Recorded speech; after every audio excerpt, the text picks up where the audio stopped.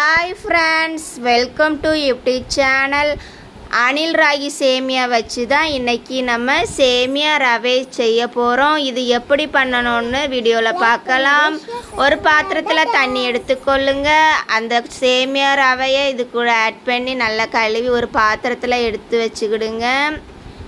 Next வந்து ஒரு இட்லி பாத்திரத்தை எடுத்து வச்சுட்டு அதில் வந்து மேலே வந்து வெள்ளை துணி போட்டு ஈரம் நினச்சி வச்சுடுங்க. நம்ம எடுத்து வச்சு சேமியா ரவையை அதில் மேலே எல்லா இடமும் பரப்பி வச்சுடுங்க. அடுப்பில் வந்து இட்லி பாத்திரத்தை எடுத்து தண்ணி ஊற்றி கொதிக்க வச்சுடுங்க. நம்ம எடுத்து வச்சு சேமியாவை அதில் வேக வைங்க.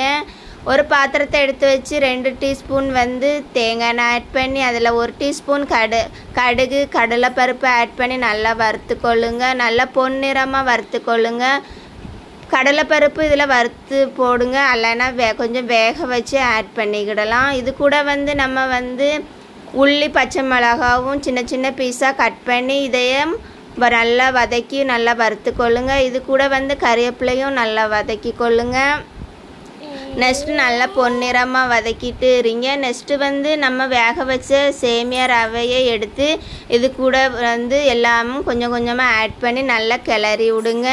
தேவையான அளவு உப்பு இது கூட சேர்த்துக்கொள்ளுங்க நல்லா வதக்கி எல்லா இடமும் ஈவனாக பட மாதிரி.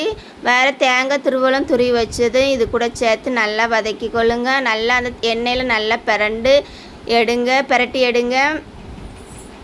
எல்லா இடமும் ஈவனாக பிறண்டு வந்தாச்சு. ராகி சேமியா இன்னைக்கு ரெடி ஆயிட்டு. வீடியோ பிடிச்சுன்னா லைக் பண்ணுங்க ஷேர்